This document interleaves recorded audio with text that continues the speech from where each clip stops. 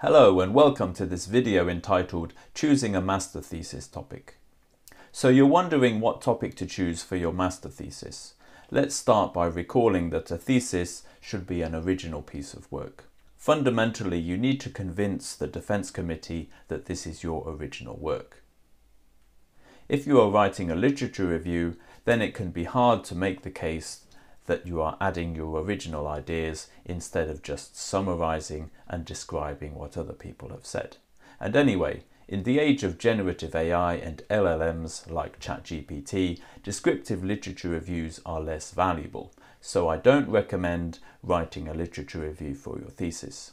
The real value when it comes to evaluating a thesis comes from a student's original logical thinking and analysis.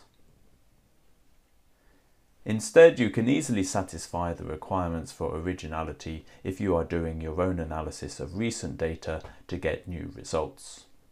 Another way to satisfy the requirements for originality is by collecting some original interview data or original questionnaire data, for example using online surveys.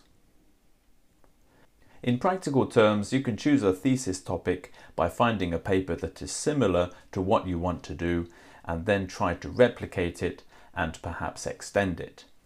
This can be done by using different data, for example data that is more recent or covers a longer time period or data from a different country. Another option could be to repeat the analysis using different statistical techniques. Another thing I want to say is don't be overambitious. Let's say you want to write a thesis on how to eradicate global hunger. It's an important topic, but it will be hard to say something original and conclusive. Many scholars have studied this for years. It could be difficult to say something new in this area because it has already been heavily studied. Another problem is that if many scholars have investigated the topic and have not reached a conclusive solution to the problem, then a simple solution may not exist, and you will not find the answer either. A master thesis is not a life's work. Don't try to solve humanity's problems with a master thesis.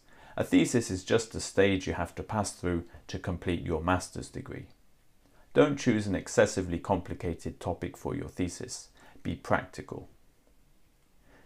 If you want to do something complicated, if you want to show the Defence Committee that you can do advanced research, then choose complicated methods to address a clear topic rather than choosing a complicated topic. That way, if you run out of time, you still have the option of using less complicated methods to address a clear topic.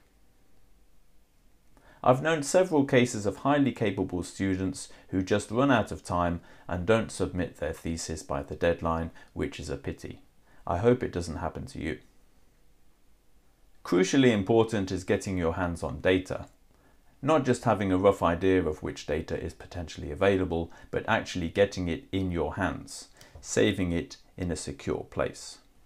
If you have an interesting thesis topic but no data, life will be difficult. If you have a fairly ordinary thesis topic but lots of data, you have lots of possibilities and a clearer road ahead. Don't underestimate how much time it will take to collect your data. It's such an advantage if you already have your database set up. Take care and have a nice day.